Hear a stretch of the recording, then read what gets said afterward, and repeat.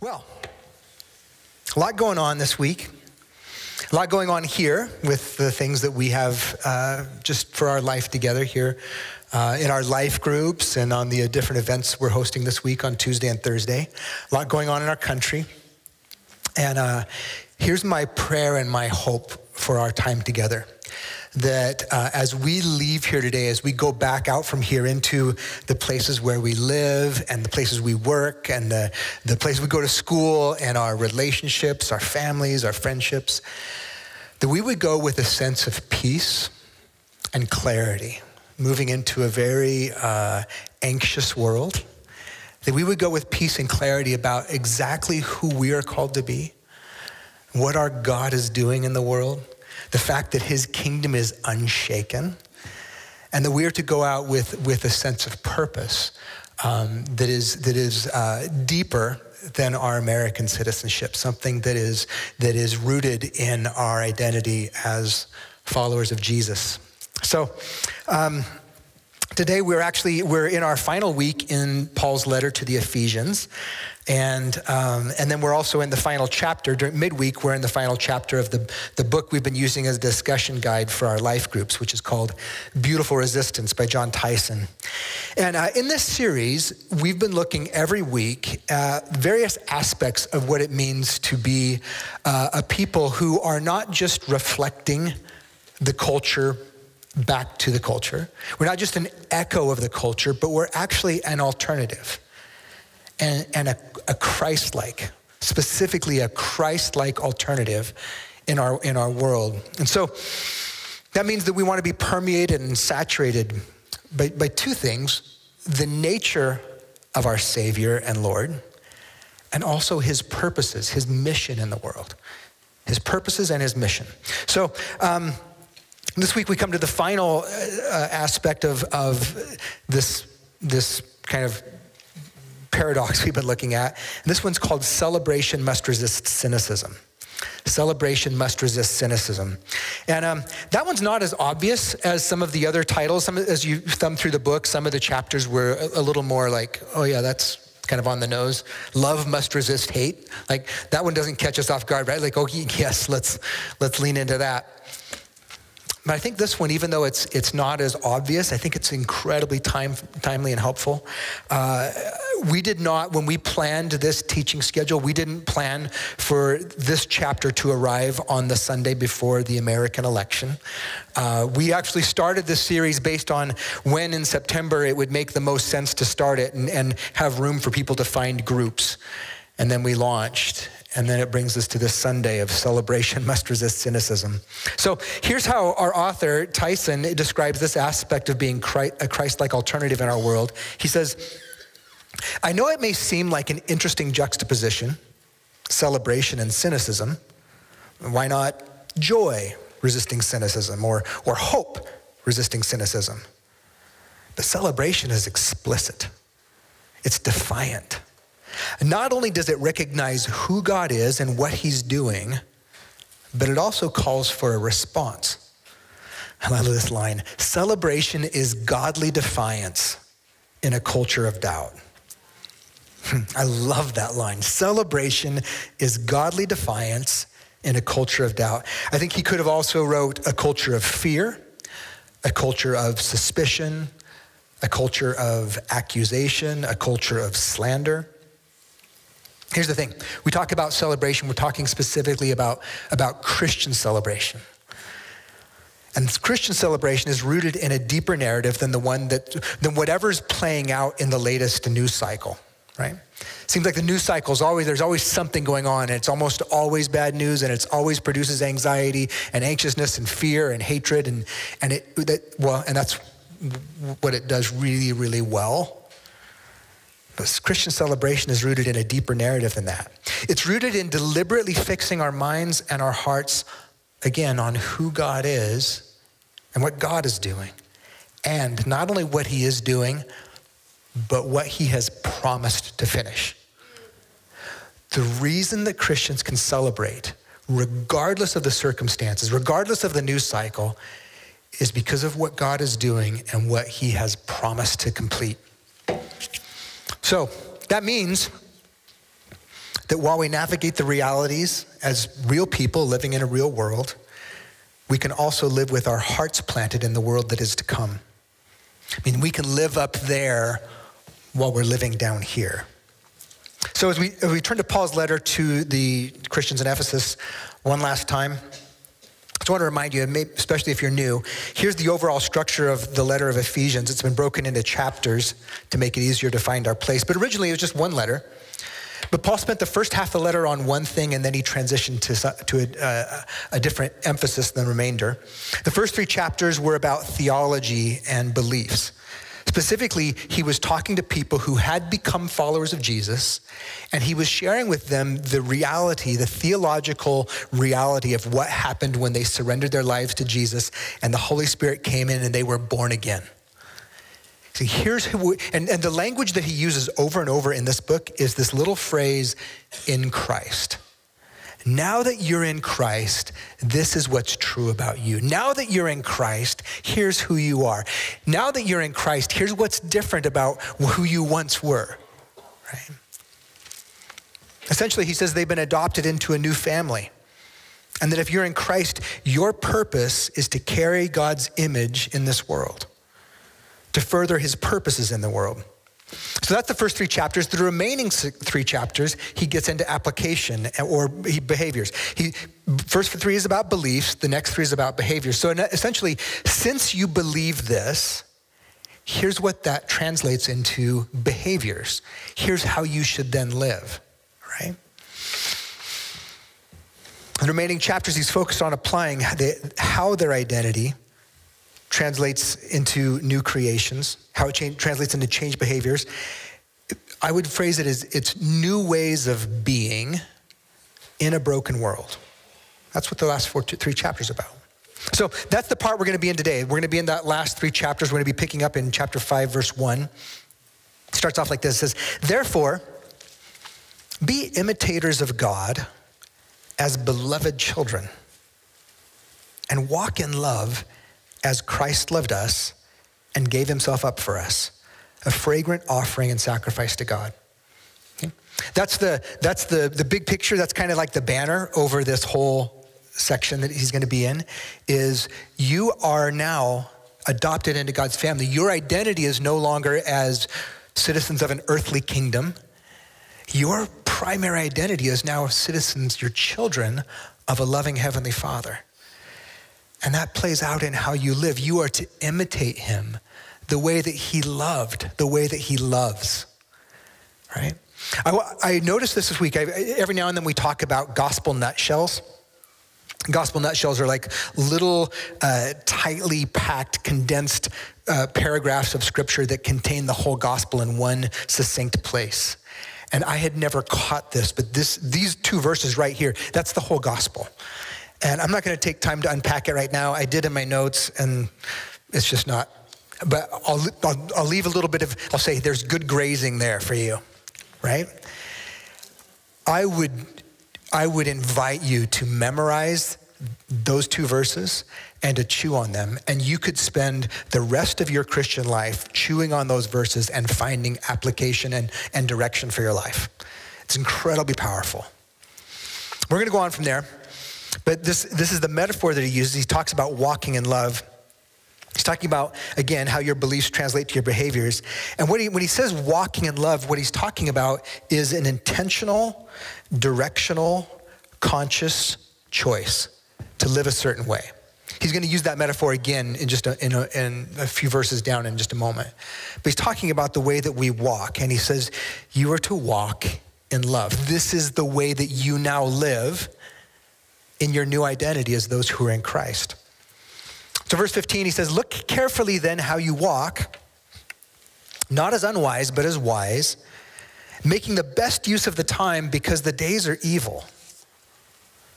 Therefore, do not be foolish, but understand what the will of the Lord is.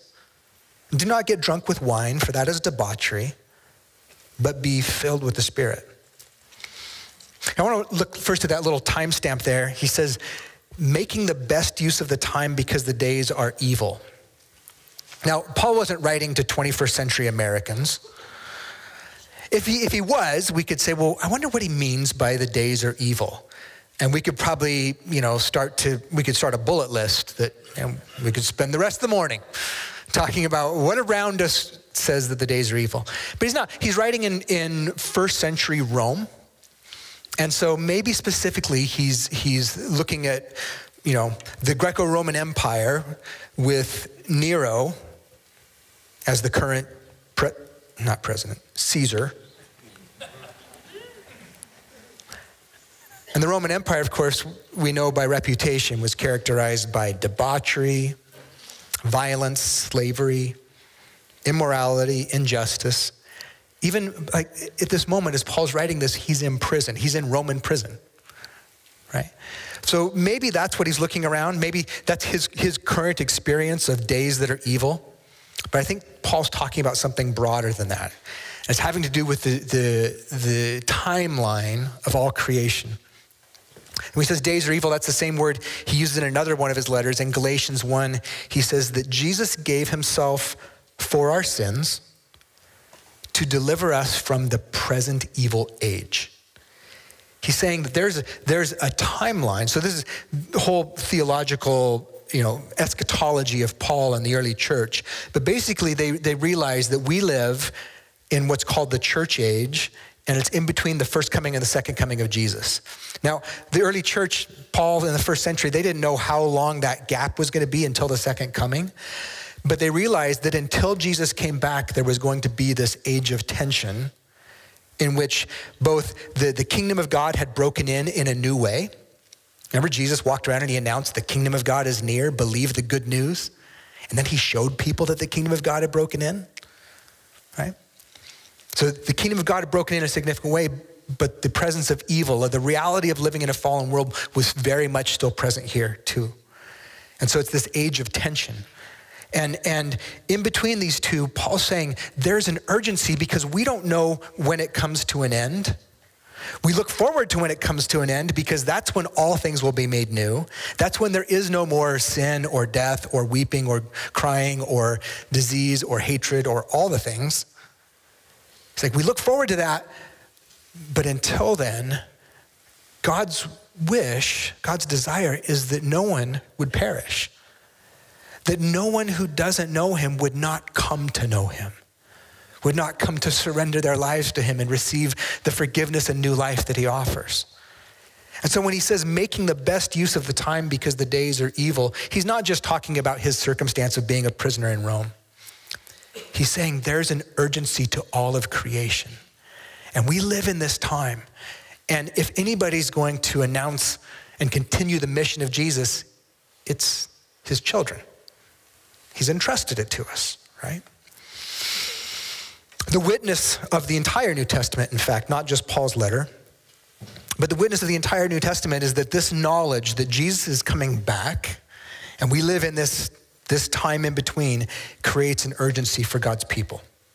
That in every generation, and so of course, the, the first generation of disciples, they lived with an urgency. They, they expected Jesus to be coming back in their lifetime.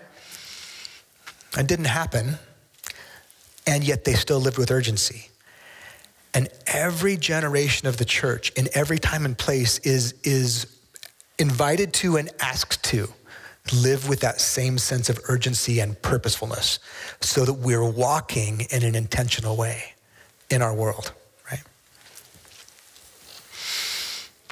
Also in this verse 515, he says, Look carefully then how you walk, not as unwise, but as wise making the best use of time because the days are evil.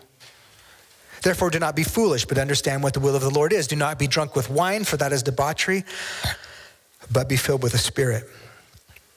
This translation, this is ESV, reads, Be careful then how you walk. Some other translations trying to help people uh, understand the bigger picture, what he's talking about, will say, Be careful then how you live how you live your moment to moment life in your circumstances, in your neighborhood, in your workplace, with your friendships and your family, be careful. The idea is, is to not thoughtlessly just be swept along with the tide of culture. There's a whole world out there that's just rushing, doing its thing. And he says, don't just get thoughtlessly swept up in that. Live intentionally, deliberately, consciously choosing your steps, choosing reactions and responses that are a witness to our Lord and Savior, a witness to who our God is. So Paul lays out two contrasting paths right here. He says, therefore, there's this path that are, these are contrasting. He says there's a path of, of people who are, are walking in ways that are foolish and unwise. There's a path that's wise. And there's a path that is uh, being f- drunk with wine. There's a path of being filled with the Spirit. And he says, you, you get to choose. You are, you are empowered to choose. The implication is we have a stewardship of our lives, and we have the free will to choose which path we'll walk. So, what Paul does here is that, that last line do not be drunk with wine, but for that is debauchery, but be filled with the Spirit. He's going to unpack what he means specifically by being filled with the Spirit with four specific examples of the Spirit-filled life. That's what we're going to look at today is four examples. So he says, um, so we'll start off with that verse again, verse 18. Do not get drunk with wine, for that is debauchery, but be filled with the Spirit. And I put a colon there because in the Greek, everything that follows is a, four different expressions of what it means to be filled with the Spirit. So be filled with the Spirit. For example, addressing one another in psalms and hymns and spiritual songs, singing and making melody to the Lord with your heart, giving thanks always and for everything to God the Father in the name of our Lord Jesus Christ, submitting to one another out of reverence for Christ. He says, be filled with the Spirit. Greek scholars would tell us that the verb structure there is a present imperative, indicating this is an ongoing filling. So you might say, be being filled. Okay? So this is different. This is, this is in addition to an initial encounter with the Holy Spirit. We know that when someone surrenders their life to God and they're born again of the Spirit, is the language that Jesus used in John. When you're born again of the Spirit, there's, that's, that's the, the first encounter with God's presence. There's, there's a, a, baptism of the Spirit that sometimes happens right then, sometimes it's a subsequent event, but a, a, an infilling and, and an empowering of the Holy Spirit. This is, this, is, this is something beyond those, it's an ongoing, be being filled. Think of it like an interior fountain of the Holy Spirit that bubbles up from our hearts into the world around us and becomes the daily pattern of how we live. Be being filled.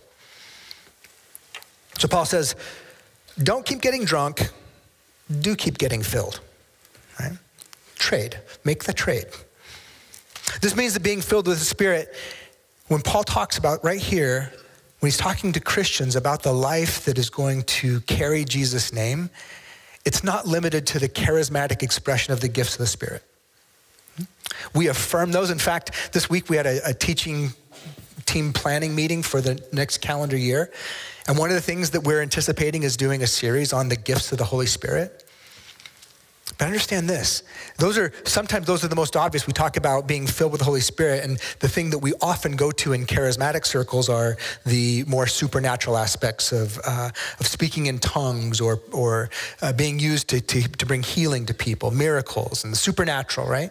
Those are the things that we tend to think of. Equally important is the things that Paul's saying right here an ongoing and active source of new life. So he gives four specifics it's interesting that, that two of them are about our life together. Two of them happen in the context of, of a community that's navigating this world together and carrying Jesus' name together. Meaning that this idea about being filled with the Spirit is not just about me being filled with the Spirit or you being filled with the Spirit. What he's talking about in Ephesians is us being filled with the Spirit. We be being filled. I know that's not good grammar, but you get it, right? We be being filled. We're gonna look at four expressions. Number one, be filled, be being filled with the Spirit addressing one another in psalms and hymns and spiritual songs. Let's talk about those three categories. Psalms, uh, those are the prayers of David and other psalmists as well. Find them in book of Psalms, kind of in the middle of your Bible. You'll notice that oftentimes they, the, these, were, these were prayers of David, but they were put to music. David was a musician. And so oftentimes you'll see titles like uh, To the Choir Master, a Psalm of David, or To the Choir Master, uh, a Maskil of David. Sometimes it gives a, uh, what looks like it's a tune, like to the tune of Mary Had a Little Lamb, something like that, right? Like it literally will give, give cues like that for whoever's leading a corporate worship gathering. So Psalms are, are the prayers of David in the early church. Um, there's uh, hymns is the second category there. It's a little less certain because we don't have a category of, of hymns that are like a, a book of the Bible that are the hymns. But um, these are probably uh, excerpts from the prophets and other places where the church has is taking what is their scripture, the Hebrew scriptures of the Old Testament, and they're putting music to them, which music makes things more memorable and therefore more portable, right? And so, like last week, Pastor Brent took us through Philippians chapter 2, and he noticed that there's this, this place where it's indented and it's like this little poem, and it's set aside. It's it, the, the writers of our, of our Bibles, they try to show us when something is a, is, is a poem or a hymn. And most likely, this was a hymn of the early church. In your relationships with one another, have the same mindset of Christ Jesus. In your relationships with one another, have this mindset. Who in very, Jesus, being in very nature God, did not consider equality with God to be something to use to his own advantage. Rather, he made himself nothing, but took on the very nature of a servant. Being made in human likeness, being found in human in appearance as a man, he humbled himself, became obedient to death, even death on a cross. The early church sang that. I don't know what tune they sang it to, and I won't try and do that. That wouldn't be helpful to you.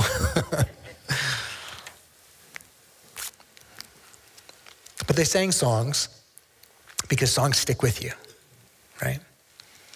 You can leave here today, and whatever the last song that we sing is, you'll probably be humming it throughout the day. You may not remember a word I said, but you'll go singing the song, won't you? The third category, he said, is singing spiritual songs. This one's uh, it could be, it's not, he doesn't unpack that, say what it is. It could be contemporary songs that they were writing. They were just like us, they were musicians and they wrote songs. Could be spontaneous songs. You know, sometimes you'll be in a worship service and a spontaneous song will arise out of that moment. In fact, uh, a couple months ago, maybe, Pastor Jesse introduced a new song that had just been recorded and said, Hey, by the way, the origins of this song were that it came out of a spontaneous moment of worship in our, in our weekday worship and prayer times. And it was such a powerful, you know, lyric that we, we took it and turned it into a song. So Paul says, Psalms, hymns, spiritual songs. Here, this is an expression of the spirit filled life. But did you notice that he said, sing them to one another? What's striking is that he doesn't say, focus on singing these to God. He will in a minute, so he's not leaving that out. But he starts by saying, sing these to one another. Because one of the ways we grow in our knowledge of God and being shaped in his image is the songs that we sing when we gather together. I shared with 101 a story this week. Uh, we were in the, the, the topic in 101 this week was what is worship? I shared a story that a, a, fellow vineyard pastor shared recently at a conference, and he said, You know, he said there was a, a woman, actually a couple in their church who um, suffered a, a horrible loss. I believe it was the death of a child. And it was devastating for them. And the wife especially found that it affected the way that she responded to God when she came to church. Because in her head, she believed that God is good in her heart, she was questioning how this could happen. And she was wrestling with that tension like, God, I believe you're good, and I don't understand why my child was ripped from me, right? Very real, very real thing. And so she, she told Adam later, she said, uh, for the first year after that loss, I came to church and I couldn't bring myself to sing those songs, but I needed to be hearing those songs. And so I came and I just sat and I let you worship for me. She didn't skip worship. she came and she sat and she let her brothers and sisters sing the truth of who God was over her life until she could once again sing it with confidence and say, I know who you are. I don't understand, but I trust you. You are good. Right? That's the power of us singing songs together. I love the songs the worship team picked for us this morning. I think they were just perfect. Additionally, songs cultivate unity in the midst of our diversity. We may have different backgrounds, different occupations. We may have different experiences, cultures, priorities, concerns. We may have different politics. But when we fix, coming from all directions, when we fix our minds on Jesus, through the songs we sing, we find the unity. The very unity that Jesus was praying for at the end of his life knowing that he was going to the cross john 17 we have the, the final prayers of jesus and what the things that he was he was uh, preoccupied by as he made that last journey to the cross. And one of the things he was praying for was us and how we would live. Listen to this. John 17 jesus said i'm praying not only for these disciples his immediate ones but also for all who will ever believe in me through their message. I pray that they will all be one, just as you and I are one. And as you are in me, Father, and I am in you, may they be in us so that the world will believe that you sent me. Jesus cares very deeply. I'm going to say this, and I don't have a verse that says this explicitly, but I, I think I can say this with quite a bit of confidence. Jesus cares less about how we vote this week than about how we treat fellow brothers and sisters. What's on his heart in this moment? He's praying for unity. He's praying that we would be one. He's not praying that we'll all vote the same, not praying that we'll all think the same. He's praying that we'll be one because of who we are in him. I think it's interesting that he says, they may be in us, that final line, so that the world will believe you sent me. Jesus says it is a testimony to the rest of the world when diverse people live in unity with their hearts fixed on Jesus. People go, How do you do that? It, it, it's, it's one thing to worship with people who think exactly the same as you do. It's a whole nother thing when you worship with people who actually think differently. And you go, that's not, that's not going to bring a difference between us because what, what unites us is not our politics, it's our relationship with Jesus. Okay? Jesus said it would be a testimony, a witness to the world. Second thing, be, be being filled with the Spirit, singing and making melody to the Lord with all your heart. Second expression of the ongoing infilling of the Spirit is, in fact, directed towards the Lord. I thought it was notable this week that he says, Make melody to the Lord with your heart. He didn't say with your vocal cords or with your mouth or your lips. He said with your heart. That means that what he's talking about is something deeper than just reciting the words mechanically that we're all singing together. He's talking about actually singing from the core of who we are and, and, and, and letting those things be a prayer. The whole passage is about careful and deliberate living here. And here in this context, it's expressed in the songs we sing to God with each other from a heart that's fully engaged. So sometimes that means that the, the songs we sing can become prayers for what we most want to be true. I love that the worship team selected that song for us this morning, Jesus Be the Center.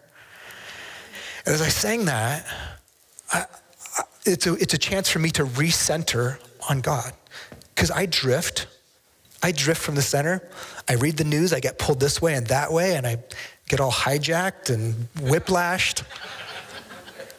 and then I come back, and my brothers and sisters lead me in a song where I sing, Jesus, be the center. And it's a prayer from my heart because I, that's what I most want to be true. I know it needs to be true. It's truer today than it was a year ago, but it's not as true as I hope it is a year from now. And so that's a prayer of formation. Jesus, would you be the center? Be the center in me, be the center in us. Take your rightful place. Would you be at home in us? people indwell with the Holy Spirit? And would you be enthroned in us? That all of our lives are lived in worship to you. Third part, third expression of the ongoing infilling of the Spirit. He says, Be filled with the Spirit, giving thanks always and for everything to God the Father in the name of our Lord Jesus Christ. You know what always and everything means, right? I thought about it this week. I think it's a little bit like when we, if you've been if you've been married, you may probably made vows, and you said something like, uh, "For better or for worse." The reality is, when we make vows, they're not really for the better, because we don't really need a vow to hold us in the marriage when everything's great. The vows are for when it's worse. That's when we need a vow to say, "I made a covenant with you and with God." Right? In the same way, when Paul says, giving thanks to God always and in everything, it's not, he's not really having to say that for the times when everything's going great. He has to say that for the times when it's not going the way we wanted it to go, or thought it should go, or are praying it will go. It's for those times. He says, in those times, part of your walk is to consider how do what what can I be thankful for in this? Sometimes it's just saying, God, I thank you that this circumstance that we're navigating is, is devastating, and I know it won't always be like this. I know you are making all things new, and one day, one day it won't be like this. And so I trust you with my today, right? That's one of the ways we can give thanks to God in all, always and in everything. Every opportunity then becomes a circumstance in which we can look for the goodness and the promises of God. I love it. Again, I, am harping on our worship team this morning, but in a good way. This morning they sang that song that started with goodness of God, right? We have to be told over and over that God is good so that when our circumstances make us question if God is good, we can hold on to that and say, okay, God, I believe that you're good. You've, you've been good throughout human history. You've never let us down. I'm going to choose to trust you today. I'm going to choose to worship you and thank you. It's only truly possible to thank God always and for everything if we believe that He's altogether good. If we believe that He's sovereign over all creation and that He will finish the redemption of creation that He began in Jesus.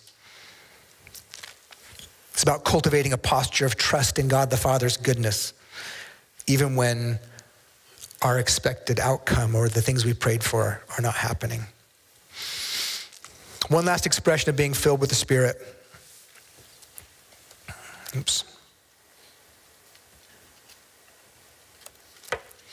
Be filled with the Spirit, submitting to one another out of reverence for Christ. I, one of the reasons I really like ESV is it keeps this verse in this paragraph. Other translations will often separate this and put it in the instructions to the household codes, they call it, after this. But in the Greek, this is all one run on sentence. This is an expression of being filled with the Spirit, to live lives of submitting to one another, specifically talking about believers. He's writing to the church, submitting to one another out of reverence for Christ. What does that mean? He's zeroing in specifically on how we live with one another. He says, submit I think it probably starts with the same preferring of one another that Brent talked about in Philippians 2. Have this mindset with one another that Jesus had of not grasping for power, not having to be right, but actually submitting and laying down your, your rights for the sake of another person. I think the, the current, the moment we live in gives us all kinds of opportunities to choose to submit to one another out of reverence for Christ. That doesn't mean agreeing that everybody's right, but it means laying down our own need to be right, to be affirmed, to be understood, right? Right now, the, the, the moment we live in affords us the opportunity to submit to one another out of worship for Jesus. The Jesus who, at the end of his earthly life before the crucifixion, was praying that we be one, it says, if you want to worship me, don't just sing songs, prefer one another, even when you don't agree. Submit to one another.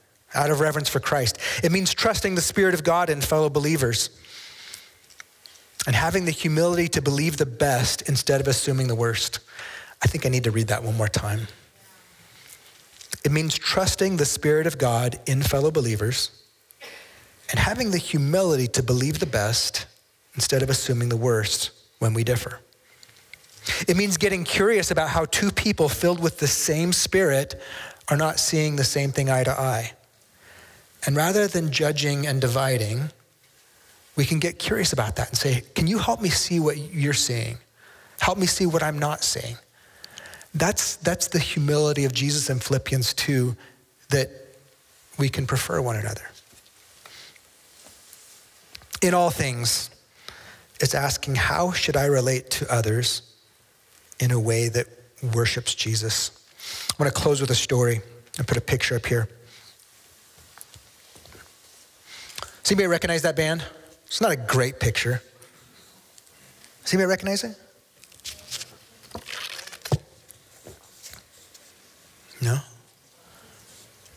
The hint is they have, they have trumpets. It's ska, yeah? It's Five Iron Frenzy. Some of you may know Five Iron Frenzy. They're a really popular Christian band in the late 90s, early aughts, around the time I was a youth pastor.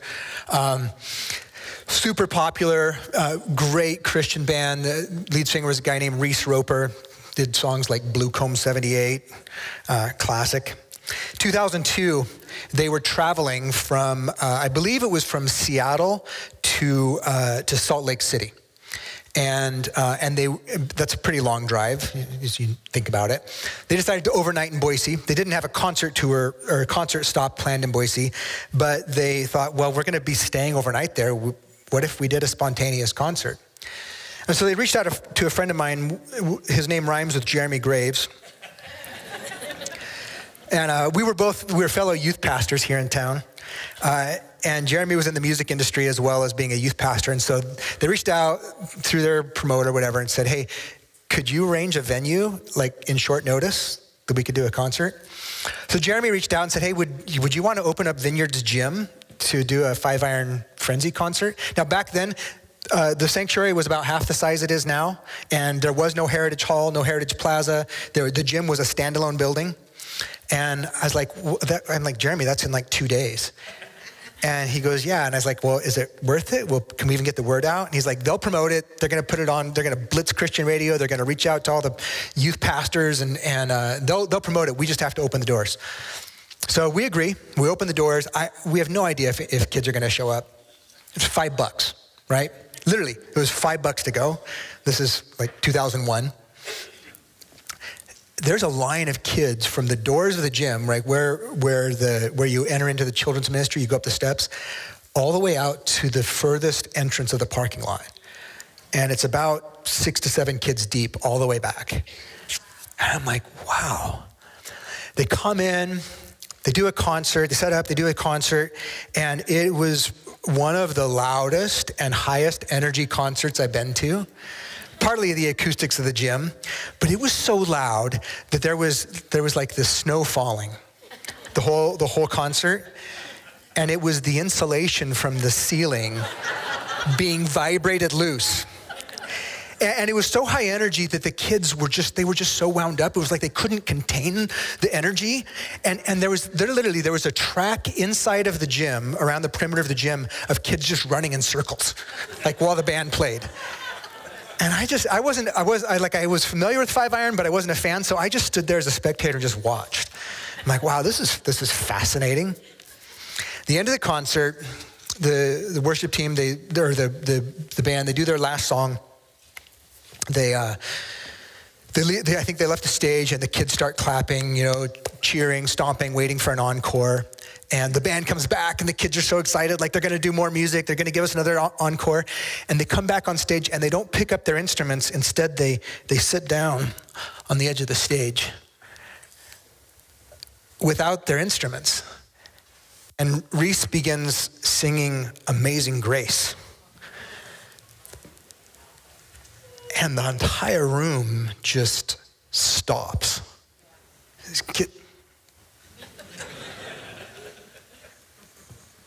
And across the room, and I'm standing in the back just watching this, you just went like this. The whole place packed with kids, mostly all teens. All these kids are suddenly had their hands raised and a cappella are worshiping God together, singing Amazing Grace. A song that cultivates humility, a song that celebrates God. And all these kids, they're from different youth groups, different schools, different cliques at their schools, different denominations. Suddenly they're unified in worshiping Jesus. And, and, and suddenly it's not insulation falling anymore, it's the Holy Spirit. And I'm not kidding. I have never, even with all the vineyard worships conferences I've gone to and, and worship sets I've been a part of, I've never felt the Holy Spirit fall so heavily as it did that night. And I just stood there in the back weeping and with chills. Like, what is happening?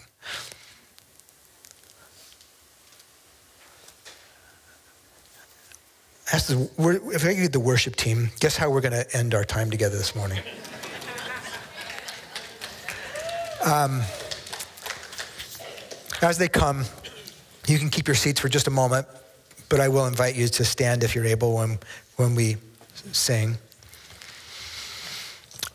But on Tuesday night, we have a night of worship. Oftentimes, we do nights of worship, and I would say it's the usual suspects who show up, right? It's not everybody, and sometimes that's schedule based, but it's, there's, it's a subset of the church that shows up when we do a night of worship.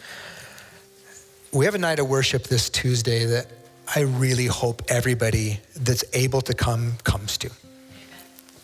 Because uh, here's the thing it's election day, and if you haven't already voted, I would encourage you Go vote. Go do your civic duty. Do it in prayer, do it with thoughtfulness. Having done that, I want you to come here and together we need to remind one another of who we are in Christ and to put our devotion on Him. Uh, Brent was kind of joking, I think, when he said, Leave your phones at the door.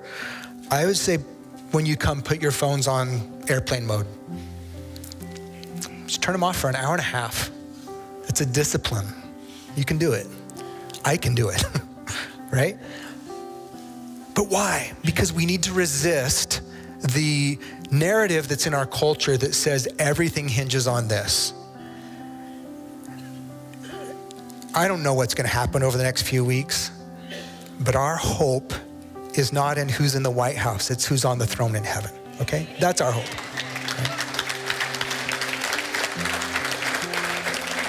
And I know I need to resist the temptation to be overly uh, happy with the results or overly devastated.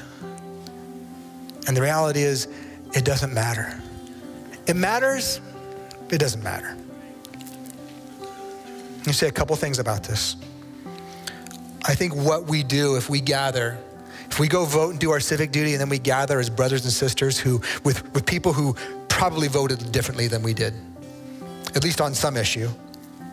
I doubt if we're all going to have identical ballots. When we do that, it's a prophetic witness. And Jesus said, so that they will know. When you live as one, it tells the world that I'm real because it's a miracle, right? It's a prophetic witness to our culture that our identity and our hope are secure in what God has already begun, what He's promised to bring to completion. It's a witness that our trust and our adoration belong to our Lord and Savior Jesus Christ, not to a candidate or a party or an outcome. We get to come together and sing songs that remind our, our own hearts that God is and always has been altogether good. And we know that He is restoring and reconciling His once good creation. We use that word that Tyson used at the beginning here. For us, it's a defiant choice to set aside the division that's happening in almost every sphere of our culture and choose to worship alongside people who may think differently, vote differently. By refusing to vilify the brother or sister in Christ who sees things differently, we submit to one another out of reverence, out of worship for Christ. to quote a fellow pastor, Presidents change, but the mission of the church does not change. We're called to keep showing and sharing the love of God in a hurting world, inviting others into the goodness of life with Jesus as people who are be being filled with the Holy Spirit.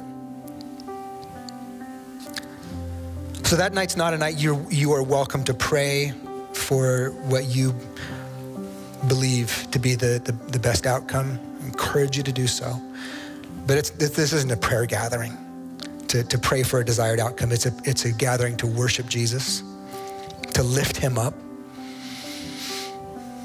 And go back and I just want to look at those four things once again and think about Tuesday night in light of what Paul just said to us.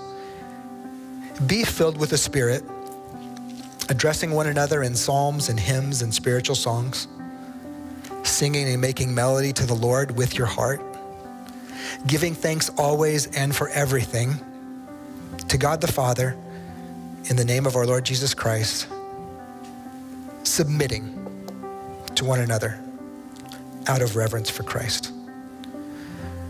Would you stand and let's worship?